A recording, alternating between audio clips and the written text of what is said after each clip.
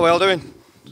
All right, right, yeah, right, right. Not Larry. Right, uh, yeah, I'm just going to crack on with it. Um, this is about my relationship with music. Uh, when I was growing up in the 80s, um, I was really into bands like the Pet Shop Boys and Erasure and Bronski Beat. And uh, my dad didn't like that. He didn't like that at all. So he, uh, he kind of forced me to listen to punk rock until I liked it. So this is uh, kind of about that. It's called Whatever Happened to Heroes. In 77, the Stranglers asked whatever happened to the heroes round about same year. Robert De Niro was asking,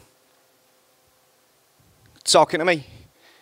Then punk kicked off and the attitude reflected the disaffected, the rejected, the disrespected, who wanted the freedom to choose to do what they want to do when they want to do it. And when that freedom of choice found its voice, you couldn't ignore it. But then rebellion became a target market. Fast forward to today.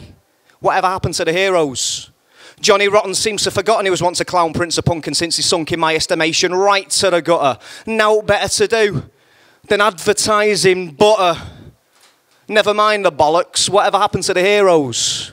Well, Joe Strummer's dead, Tony Wilson's dead, Joey Ramone's dead, Kurt Vonnegut's dead, so it goes. There's no more heroes except a punking attitude only standing lonely. Leonard Cohen still going, but who replace him? They won't sink but swim for me.